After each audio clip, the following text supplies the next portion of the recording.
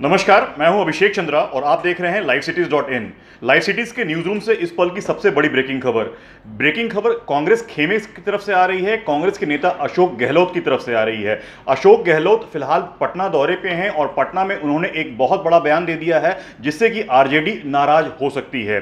अशोक गहलोत ने कहा है कि आरजेडी से बात करना, आरजेडी से संबंध रखना या फिर जेडीयू से भी बात करना कांग्रेस की मजबूरी बन गई है। अशोक गहलोत ने इस बात को अंडरलाइन करते हुए कहा है कि आज की तारीख में हम अकेले अपने बल पे चुनाव नहीं लड़ सकते ये हमारे लिए चिंताजनक बात है। कांग्रेस को खुद अपने बलबूते पर अपने सहारे ही चुनाव लड़ने चाह, लड़ना चाहिए ना कि किसी अलायंस पार्टनर के साथ। बहुत ही विस्तारित ढंग से अशोक गहलोत ने इस बात को कही है। एक बहुत बड़ी बात कही है जो कि कहीं ना कहीं आरजेडी को ज़रूर परेशान कर सकता है। आरजेडी के साथ संबंध को लेकर के कांग्रेस के बड़े नेता अशोक गहलोत जो कि फ़िलहाल बिहार के दौरे पे हैं पटना के दौरे पे हैं उन्होंने एक बड़ा बयान दे दिया है। अशोक गहलोत का यह भी मानना है कि देश भर में कांग्रेस के बहुत सारे नेताओं की उम्र बहुत ज़्यादा हो गई है।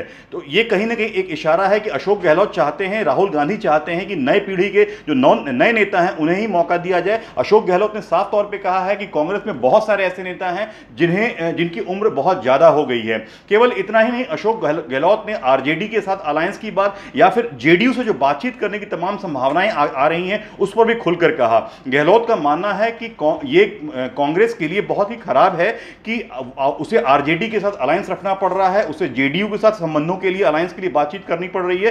कहीं ना कहीं कांग्रेस को अपने बलबूते चुनाव लड़ने के लिए सोचना चाहिए। तो लाइव सिटीज़ के पटना न्यूज़ रूम से इस पल की बड़ी ब्रेकिंग खबर यह है कि कांग्रेस नेता अशोक गहलोत ने एक बड़ी बात कही है, बड़ा बयान दिया है कि कांग्रेस को अपने बलबूते ही चुनाव लड़ने पर विचार किया जाना चाहिए। जेडीयू से बातचीत करना या फिर आरजेडी के साथ संबंध बनाना उसकी मजबूरी है। लाइव सिटीज़ के पटना न्यूज़ रूम से मेरे यानी अभिषेक चंद्र के साथ इतना ही। नमस्कार। you